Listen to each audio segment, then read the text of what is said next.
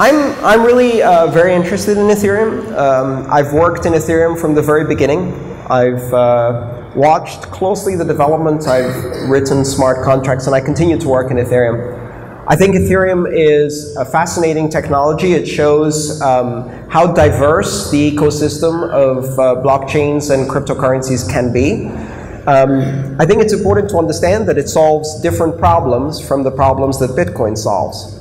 And I think it coexists. In fact, it works best in coexistence with Bitcoin. Bitcoin provides robust security as a reserve currency and trusted ledger with very, very strong immutability and unforgeability. Um, and part of the reason it achieves that is by being simple in its construction, which means it can't do smart contracts.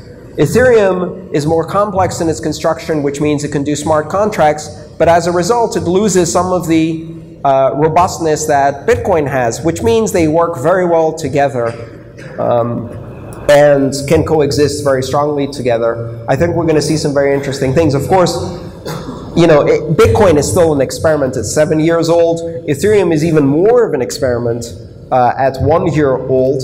And so we're going to see a lot of uh, change over time as we try to learn what it means to build smart contracts uh, on blockchains.